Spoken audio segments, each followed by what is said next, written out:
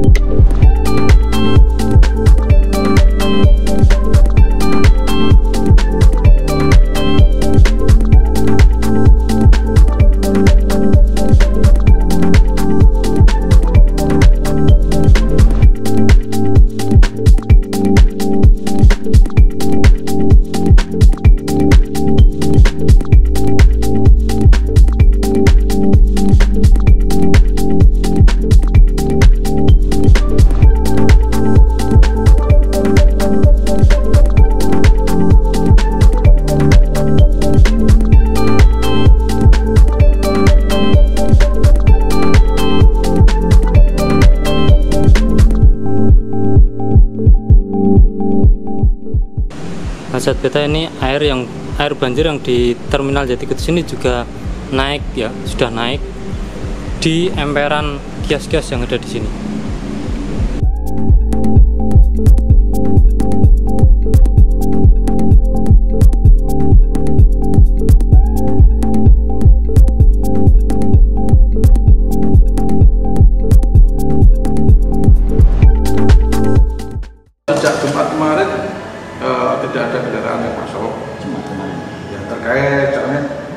Selain kalau ada bisa sebenarnya bis masih bisa lah, tapi kita sengaja tutup tutup, tutup aja. Soalnya kalau ada air gelombangnya tinggi kan masuk ke kios-kios semua.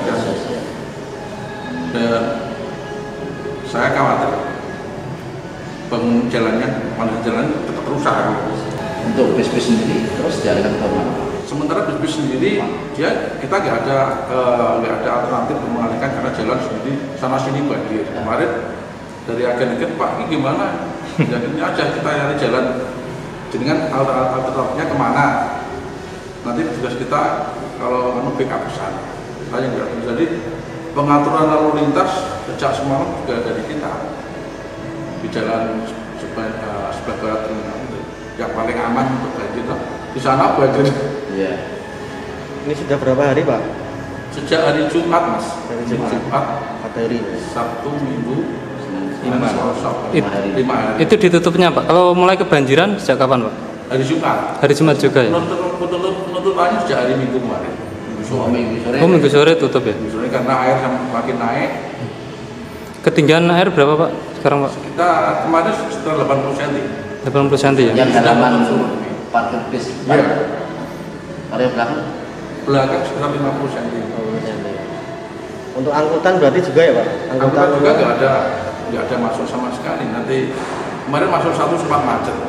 Kita Berarti tutup tutup total nih Pak ya. untuk total.